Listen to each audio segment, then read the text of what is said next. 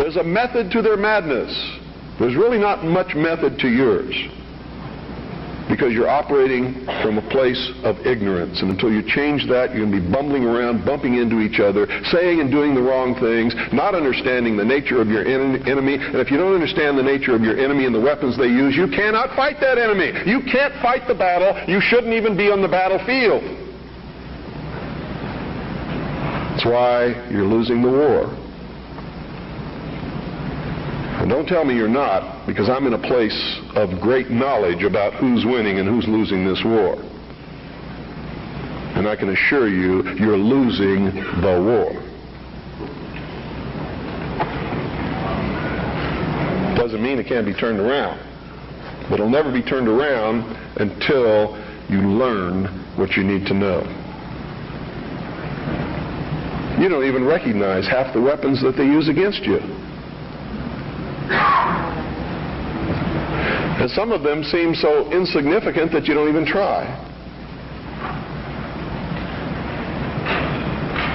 They want to create a world where everybody is happy all the time.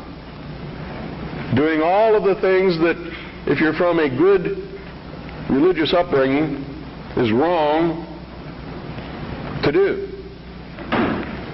If you're not from a religious upbringing, but you have a good brain and you understand the purpose of morals and ethics, it's still the wrong thing to do. But I got something that you don't have. I have a free press. It's mine. And I get to say what I want. And I get to publish what I want and print what I want because it's mine. And I'm free. And it's my free press. That's why I don't care if somebody calls up my radio show and says they don't like what I say. Screw you, get your own show.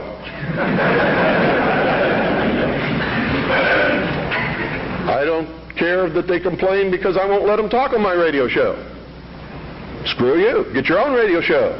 This is mine, belongs to me. I don't have any contract with you. I don't owe you anything.